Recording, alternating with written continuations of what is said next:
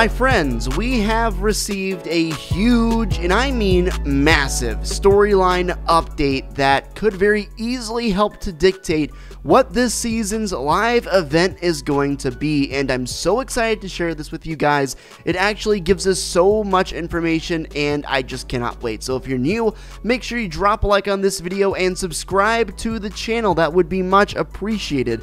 Make sure you have those notifications turned on and you smash that bell to make sure you never miss out on future content. Also, if you're listening to the video and watching right now, I need you to go in the comments and type the word beans. That's it just beans. Let's see how many people we can get to type the word beans in the comment section. Lastly, before we dive into everything, make sure you're following me over on caffeine.tv slash Dr. Pineapplez. That is my live stream where I stream four times a week, giving away tons of stuff to you guys, doing mini games, gift customs, everything for a gift. So definitely go and follow me in the description down below. I will be live tomorrow at 5 p.m. Eastern. So recently in the item shop, we've gotten the new Deo skin. I don't believe it's in the shop anymore but it was in the shop for a period of time, and obviously the Deo skin is the same skin that was inside of the ancient astronaut spaceship that we had near Craggy Cliffs a few weeks ago, and I guess is still there if you haven't completed the challenge. The way that spaceship launched was quite strange. You had to collect the parts for it and then attach it to the spaceship and then defend the spaceship for a certain amount of time before it blasted off back into the sky and created multiple rifts around the area where the spaceship previously was. It reminded me a lot of the Visitor's rocket launch, just the very way it happened. Anyway, the spaceship then went into a rift in the sky and disappeared, and we assumed we had seen the last of it. Well, we were wrong. It's come to my attention that if you go to the southern part of the map at this specific location, kind of southwest of Misty Meadows, the spaceship has returned. As a side note, if you go buy this spaceship, I'm pretty sure you had to have completed the original challenge, but I'm not sure on that, you get a free 14,000 XP for just discovering the spaceship. The challenge is called Astronaut, N-O-T, In OT, and the reason why is because Deo is no longer in the spaceship. The spaceship is open, the capsule is open, and there is no one inside as there previously was when we originally found the spaceship near Craggy Cliffs. I don't know whether or not you guys realize this, but this is absolutely massive for the Season 3 and probably even Season 4 storyline. Since the capsule is open and the whole spaceship is activated and floating and the lights are on inside, you have to assume that Deo, for whatever reason, came back to the map because if you recall, he left via a rift in the sky.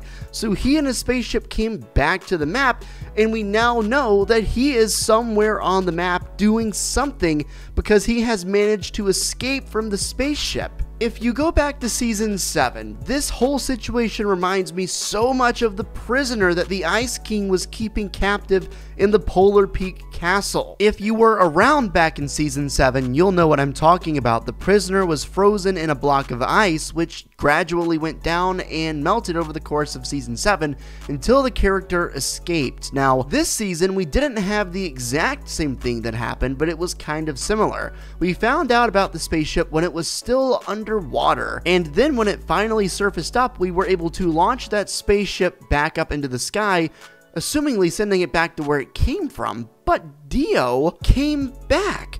So, what was the whole purpose of that? Maybe it's possible that we were trying to send him away and get him out because he was a threat to the island in some way, but he figured out how to get back escaped from the pod this time, and is now here to wreak havoc in some way on the island. Maybe his mission is to try to find Siona, because of course we know Siona and Deo are tied together, but one loophole in this theory is this loading screen that Fortnite actually showed us on Twitter and inside of the game itself. It shows Siona and Deo just kind of chilling together on the spaceship, so I don't really know what to think is Deo a threat? Is Deo a bad guy? Nobody really knows what his intentions are, but one thing is for certain he's back, he's here, he's on the map, and he's up to something. As it currently stands, and as I'm sure you guys know, the current Fortnite season is slated to end on August 27th, which means We have only 9 days, just a little over a week until the new season drops and the season ends, and we gotta get the live event soon. I'm pretty sure Deo and this astronaut resurfacing back on the map after we launched it away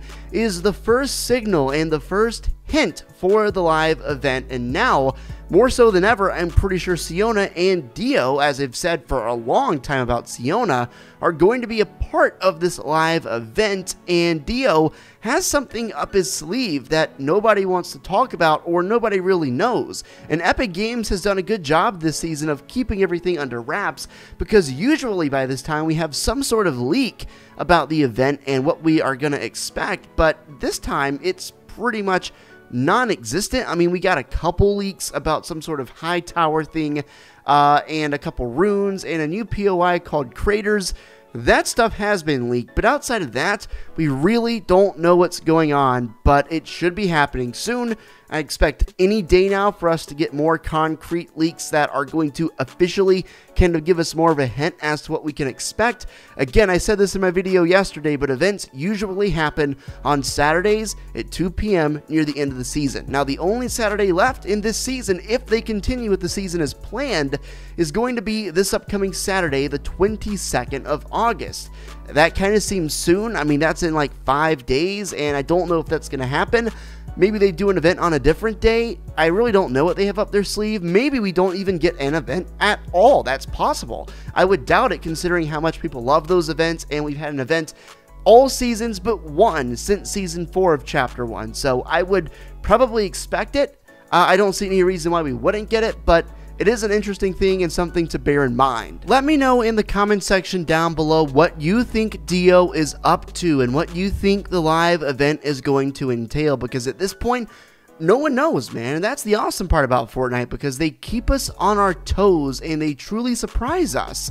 I mean, take last season's event for example, the device. People knew there was going to be a device, and people knew that Midas was going to try and control the storm, and people knew that the map was ultimately going to flood, but nobody knew how it was going to happen, and nobody expected there to be some secret room we went to where we were hearing people talk and Agent Jonesy and all this stuff. So, I mean, even if we do get leaks telling us kind of what's going to happen in a general sense, there's always going to be a lot of twists and turns in there that will keep us on our toes and keep us guessing. So I'm looking forward very much to seeing what's going to happen.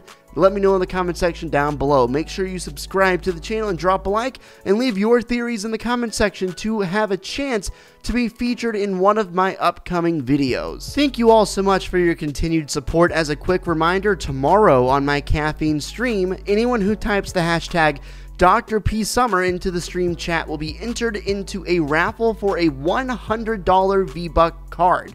I've given away several so far this month in addition to all of my normal gifts, so if you want a chance to win a free $100 V-Bucks card, go into my stream tomorrow on Caffeine via the link below and simply type in the chat hashtag Dr. P Summer and we will spin that raffle winner away on the 22nd of August on a Saturday, which coincidentally enough is the last Saturday of the season, so if there is a live event, you can count on me to be live. But regardless of whenever that event might be, I'm going to be streaming it on Caffeine, so definitely make sure you're following me over there to stay tuned for any future updates. Thank you so much, and I'll catch you in my next upload.